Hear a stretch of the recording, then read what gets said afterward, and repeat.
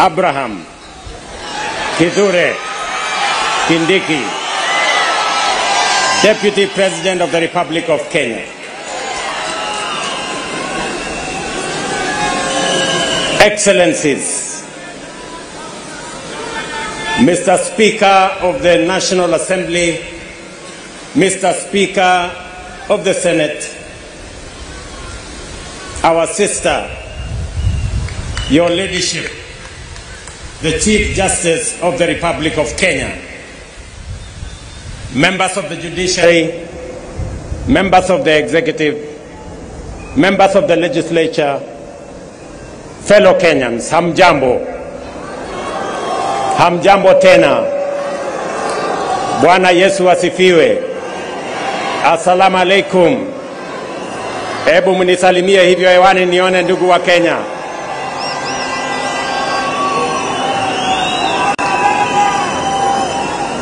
I am proud to witness the swearing in of the Honorable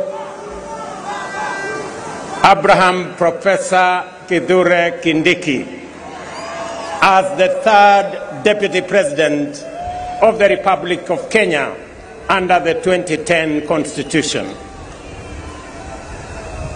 I know him as a dedicated professional whose commitment to excellence has helped us overcome daunting challenges and as a tireless public servant on the path of national leadership. Abraham is also a patriot whose dedication to cohesion, national unity, and inclusivity is beyond reproach. An effective champion of peace and stability.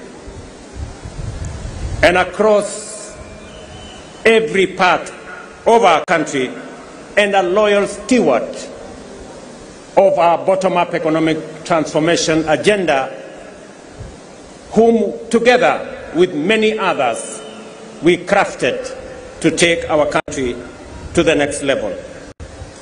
Over the past two decades, I have had the privilege to witness Professor Kindiki's work as a professor, litigation lawyer, consulting attorney, sen- senator representing the Nithi, majority leader of the Senate, deputy speaker of the Senate, the most recently as cabinet secretary.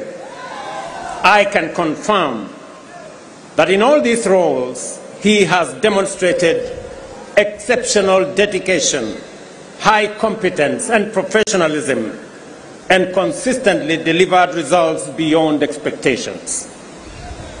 Professor Kindiki is a highly qualified and outstanding scholar, advocate, and public servant whose career has been defined by exemplary achievements which demonstrate his vision for positive change and commitment to high standards of efficiency in the performance of his duties. At this stage of the implementation cycle of our national transformation agenda, the people of Kenya require a patriotic public servant and a consummate champion of our constitutional dispensation, our broad-based national governance framework, and the bottom-up economic transformation agenda to support the cabinet and the presidency in delivering in full and on time.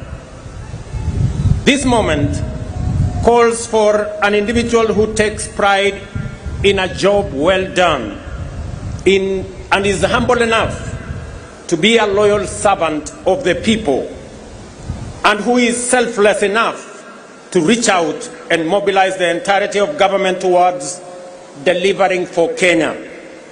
Experienced enough to understand the importance of engaging all sectors of our economy to drive transformation and committed enough to serve professionally with loyalty and most importantly with integrity.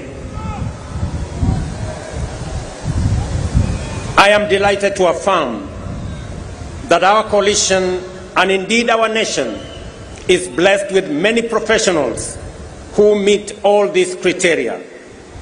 Among them, Abraham Kithure Kindiki stands out for his exceptional qualifications, extensive experience, and wide-ranging accomplishments.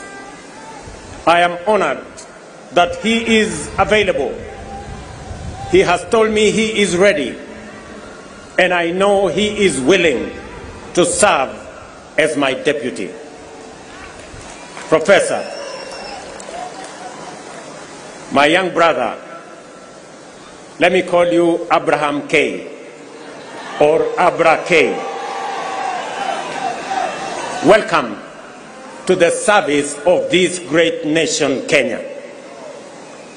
And let me say this I have heard you clearly when you took your oath of office and the oath for the due execution of your responsibilities as Deputy President.